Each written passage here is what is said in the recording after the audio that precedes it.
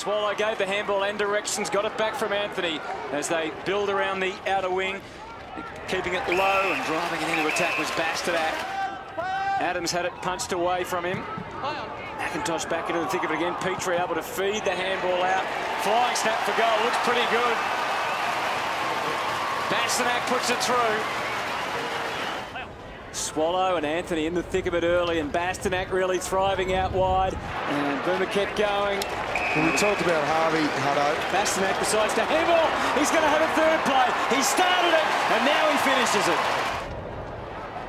And again, the Kangaroos first to the ball. Bastinac, Cunnington, just so much confidence in it. Didn't need to hurry the handball, maybe a little bit of overconfidence for a moment. But well, that's where I think you have to have at least one player back to just make a contest. O'Halpin or even Dean Brogan, some tall target. Uh, absolutely, and I think he elevated the kick to allow someone to hopefully get and make a contest, but uh, there's only so long he could hold the ball for. Should have been marking practice for Cornes. In the end, forced a handball, so the pressure's still well and truly on. Could have been in the back to Ward, but good tackling from Campbell as it turns out. And another terrific snap from Bastinac. Sure, but it was very difficult for Hampton to be able to do anything at all, really, on that occasion. Bastinac comes away again. And again, Mowat is the loose man in defence. Bastinac fell out more than being deemed as the tackle, so that's why it wasn't holding the ball, but they're lining up through the middle of the ground here. Yeah, again, Bastinac happy to take it. Give it off to Cunnington. And again, employing the handball. It's one after the other after the other to work their way through the zone. Well, Wright ends up with the exit handball. Delaney weaves his way through. And Bastinac, who's just thrived on the opportunity this afternoon to get so much of the footy. Harper's able to swing it in. Ferrito.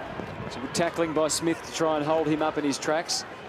Still the Kangaroos advance, and Adams happy to accept the pass. Again, Mullet and Bastinac involved. Bastinac now up to 35 disposals.